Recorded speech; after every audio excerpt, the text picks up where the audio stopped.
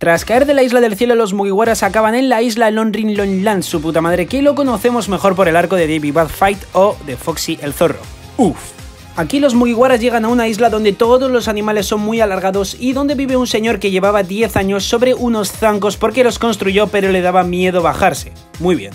Todo es muy bonito hasta que Tonjit, el hombre zanco, recibe un disparo de un hombre muy peligroso llamado Foxy el Zorro Plateado. Este poderoso personaje le ofrece a Luffy jugar a algo llamado Davy Bat Fight. Una serie de pruebas de las cuales saldrá un ganador y este tendrá el derecho de quedarse con un Nakama de la tripulación perdedora. Esto lógicamente no aportaría nada a Luffy y sus Nakamas, con lo que, como es de esperar, Luffy acepta. Empieza en la primera prueba, donde tienen que crear una balsa con determinados materiales. Foxy, como es un tramposo, pues usa su Noro Noro no Mi, la cual ralentiza a las personas por 30 segundos. Debido a esto, los Mugiwaras pierden esta prueba y los piratas Foxy deciden quedarse con Chopper por ser tan extraño y adorable.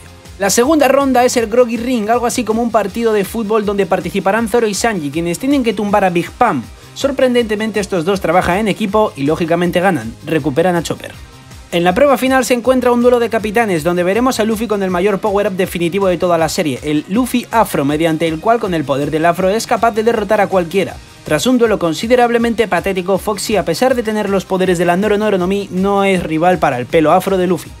Todo esto no es relleno, os lo juro. Luffy gana la prueba y en vez de quedarse con una cama decide quitarles la bandera y que tengan que navegar con una creada por él. Hay que ser hijo de puta. Antes de volver a navegar, los Mugiwaras se encuentran con Aokiji, un almirante de la marina con el poder del hielo que ridiculiza a todos los Mugiwaras en fuerza. Este les advierte de que Nico Robin es una traidora que destruye todas las organizaciones por las que pasa. Aokiji congela a Robin, Luffy se dispone a pelear pero dura menos que Zoro sin perderse. El almirante les deja congelados y se marcha, permitiéndoles el escape.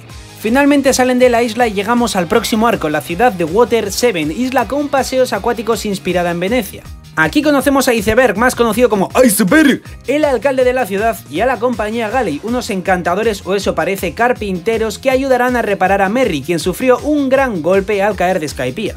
La reparación iba a ser pagada con el dinero obtenido en Skypiea, pero unos cazarrecompensas liderados por un tal Frankie les roban el dinero. Usopp trata de recuperarlo pero es apaleado por estos personajes. Mientras tanto, Kaku, un carpintero, les dice a Luffy y Nami que el barco no tiene reparación. Estos van a avisar a Usopp y se lo encuentran destrozado. Por temas de orgullo y todo eso, Usopp va a casa de Frankie a volver a intentar recuperar el dinero y esta vez le dan una paliza aún más fuerte. Luffy y compañía no se van a quedar de brazos cruzados. En uno de los paseos más épicos de la serie les dan una paliza del siglo a todos los cazarrecompensas. Tras esto, el líder Frankie sufre una evangelización cojonuda y se vuelve un aliado.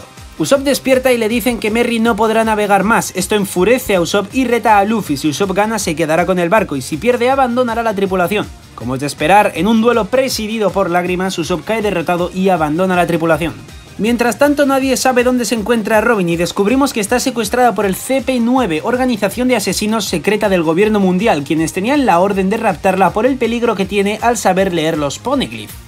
Sanji se cruza con Robin y esta le dice que no le sigan, que le dejen. Sanji manda a Chopper a avisar a los demás de la situación y a la noche mientras Luffy y Zoro se dirigen a casa de Iceberg, se encuentran con que esta es invadida por el CP9 y ojo, Robin, los cuales buscaban los planos que el alcalde tenía, los del arma ancestral Plutón. Aquí descubrimos que el CP9 son los carpinteros estos tan encantadores de la compañía Galley, todos menos Pauli, quien fue engañado todos estos años. Luffy y Zoro no son rivales para Rob Lucci, el más fuerte del CP9, y tras esto ven como Nico Robin sin decir nada se marcha junto a ellos en el tren marino Umiresa hacia Enmies Lobby, la isla donde será juzgada y a donde los Mugiwara tendrán que ir en su próxima aventura.